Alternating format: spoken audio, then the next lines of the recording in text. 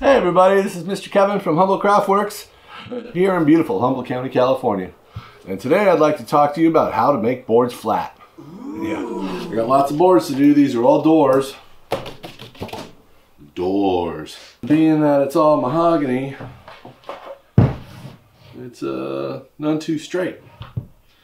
So I have the uh, privilege of making these boards all flat. So I'd like to go over a few little techniques that I do to make boards flat, uh, how I make them easier to manage and uh, easier to mill out.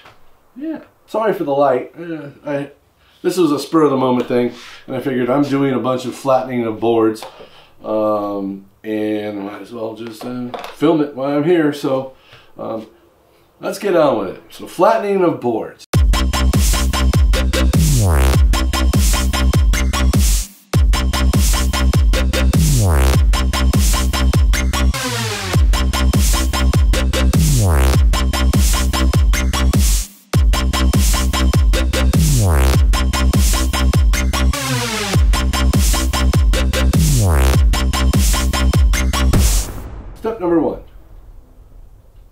Make sure it's flat. That's the easiest thing you can do. Ah, it's nice and flat, perfect. Number two, make sure that it's thicker than you need and wider than you need. Number three is cross-cut your pieces larger than your final length to make them easier to handle. Alright, and the fourth thing you need to do to make boards flat is to face joint them. And if you don't know what face joining is, it's when you lay the board, instead of laying it on the edge of the joiner like this, upright on its edge, you lay it on its face or its back, and you face join it. A couple things you want to watch for when face joining is the grain, the direction of the grain. If your cutter head's here, you want the grain to be going this way, this direction, kind of down. You don't want the grain direction to be going like my fingers are going this way. If the grain's pointing that way, it's a bad thing. The grain is like my fingers going this way and your cutter head's here, that's a good thing, okay? This is crown this way. I always put the crown side up. I take off the points first because it's easier to face joint with the points facing down. So when you're face jointing and you put the crown side up, don't hog off, don't take off a lot of material.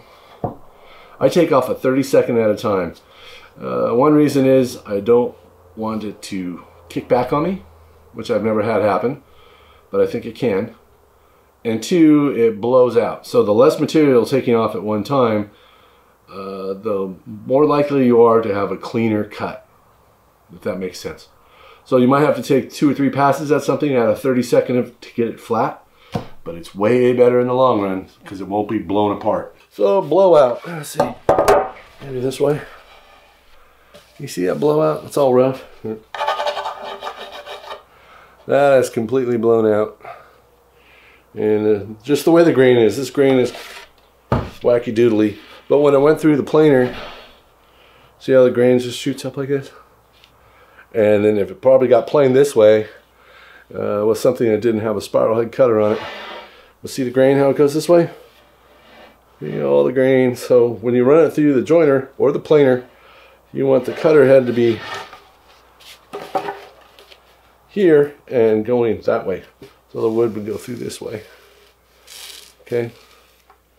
If you're running it through the uh, the planer, cutter head's on top. You want the cutter head to be up here and run it this way. Uh, okay. I don't know, it's probably hard to see. Uh, number five, so we got grain direction. I should have wrote this stuff down. God, look at that. Blue. Blue lights. Bleh. LED lights. So I'm gonna go and uh, face joint all of these. They've all, they're all wide, they're all long. And what I do is I face joint them first, make sure I get them flat. And some of these I already have done, like, oh, like this one. When you face join them, oh, here we go, number five. After you're done face joining them, make sure you mark them so you know you face jointed that edge. Yeah, that's pretty cool. That way you know you're done. If, if I was to grab this and try to Face join it, I'd be like, oh, I already did this one because I marked it. So mark your material once you're done face joining the side and your shirt's flat. Flat. No markings. No markings anywhere. It says what the door is, uh, where it goes, how wide it is, how long it's supposed to be. So make sure you mark it. But when you're face joining it, you'll probably face joint that off or plane it off. So make sure you write it on the edge. Write it on the edge so when you're doing all this work, because you're not going to join this again um, until after you face jointed it. So if you have it written on the face, make sure you rewrite it on the edge. All right, I don't know what number that was, uh, five, six, seven, eight, nine. So I'm gonna record a few uh, how I face joint things. And just keep in mind, when you see me flipping stuff over, what I'm looking for, I don't know if you can really see that or not, is the grain. So when I'm looking at it, first thing I'm gonna do is crown up. Regardless of what it is, I, I want the crown up. And then the other thing I'm gonna look for when I go to join it is grain direction. This is the grain on this, it's going down like this. I don't know if you can see that right here. It's going down. So the cutter head, I'm gonna put it this way. I'm gonna run it this way through the joiner. And uh, yeah, so I'm gonna film that a little bit and uh, you can listen to the music while I do it and I'll kind of make it fast. And we'll go from there. All right. Well, hang on, here we go. How to make a board flat. All right. Okay, so I placed all the boards here and I placed them in the upright position so the crown faces up. It's hard to see. I mean, there's a slight crown to each one of these things. So I like the crown to be up. Um, very important that you wax your tools. there's a video right here on waxing your tools. This is really starting to sound like an infomercial. Yeah. Your uh, tools are waxed, your fence is square, and everything is ready to go. Your dust collector is empty because you're going to fill it up pretty quickly. I just emptied it not too long ago, so hopefully it'll last. Make sure you wear your safety equipment. Look, I got a new mask the other day. These are kind of cool. Not the one I wanted, but uh, I just wanted to try them out. They seem to work pretty good. So, mask, safety glasses, headphones, because it's going to get loud. Alrighty then. Magic button.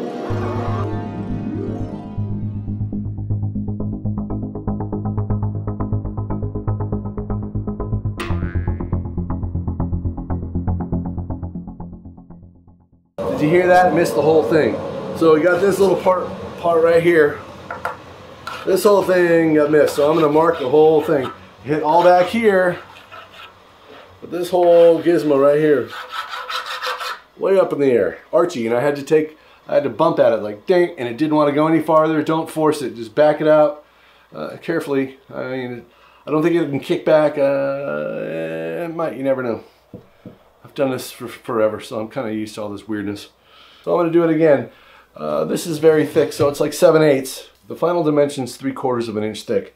So if I get it within 13 sixteenths, I can take a couple passes at it, and it flattens out at 13 sixteenths. I can run it through the planer at 3 quarter, 2 3 quarter, and I'm good. Because these are too big when they're glued together to go through my planer, and I'm to have to belt sand them. oh boy. Put my garbage back on here. I kind of like this mask. Yeah, yeah. We'll see how it goes. I'm ready for surgery. Pinchy, pinchy. Oh, no.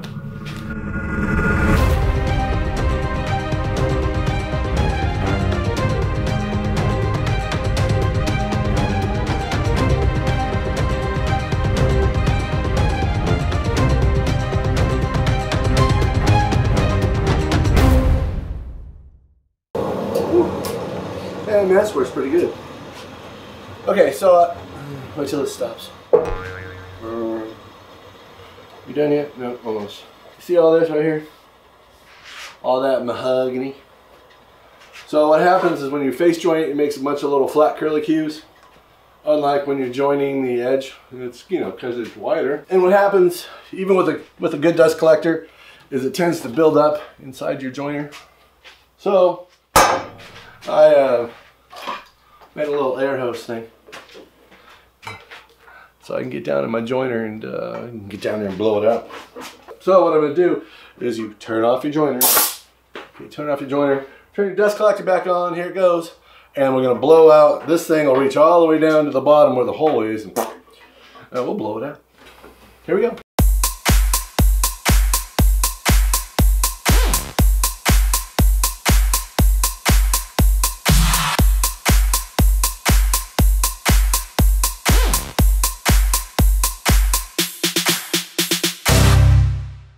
So that's another little Kevinism, Tippinism for you.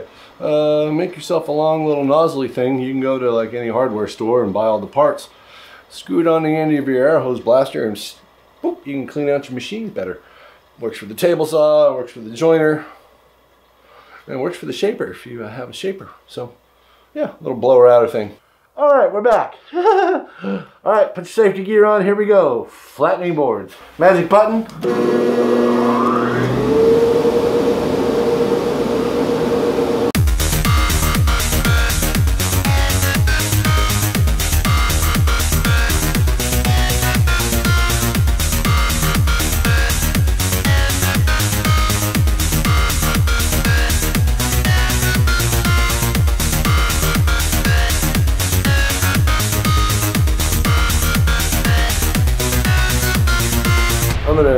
Gonna zoom you in.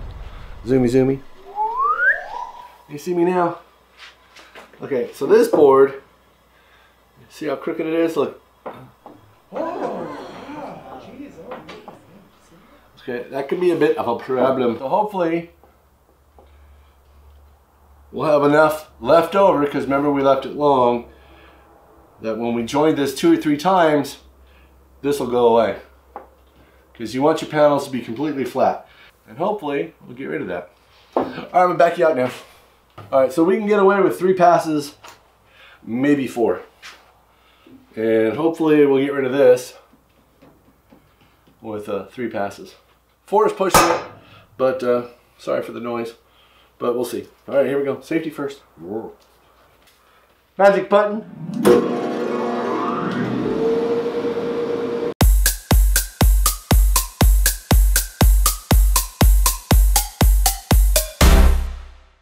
It all come flying out. This is like a, it's super light sawdust. And uh, yeah, it's just, that's what it does. But that came out flat. Let's see. Okay. Two passes. Worked out pretty good. I was hoping we'd only get it in two passes because of all this because this is how it goes through the uh, big bandsaw at the mill and then they kind of rough plane it and that's why you get it hit and miss. Which is good though because you can you can flatten it yourself and make it really flat. And what's going to happen now is I'm going to plane these and you don't need to watch me plane them and then I'm going to glue them up. I'm just going to belt sand the seam so I'm going to make the uh, the doors uh, a 30 second thicker than uh, three quarters okay? So I'll, I'll show you what they look like uh, when they get there. All right. All right, everybody. Well, thanks for hanging out with me and listening to my baloney. And hopefully uh, I helped you out somehow or you, you got to see how it's done. You've never seen it done. I don't know. Making a board flat, it's like I said, it's very important that you first pick out decent material, the best you can. I know it's not always possible. Number one, manageable pieces. Cut them down a little longer than you need. Uh, make sure it's wider than you need by a little bit because you're gluing up panels, like quarter inch for each one will give you plenty for clamp marks and rejoining if it's not flat. Uh, make sure you label the edges of your wood because you're going to probably face join off the, uh, the labels. So just put them on the edge where you join it originally. And then uh, follow your grain directions so you don't get a bunch of tear out. And if I left anything out, I'm sorry. I got to get back to work now. I got to blow this out and clean it up and uh, start planing all this stuff. So uh, this is Kevin from Humboldt Craftworks. Thanks for watching. Uh, please subscribe if you haven't. Hit the notification bell if you uh, feel like hitting the notification bell to hear more uh, baloney from me. Uh, the Butcher Block giveaway is still going on. Once I get to 100, I'm going to give it to somebody. Uh, and thanks again for everybody who's helped me out. subscribe, like my videos, whatever. It helps. I really do appreciate it, more than you realize. And uh, thanks for watching Woodworking with Mr. Kevin, because that's me. oh, and have an awesome day. See ya.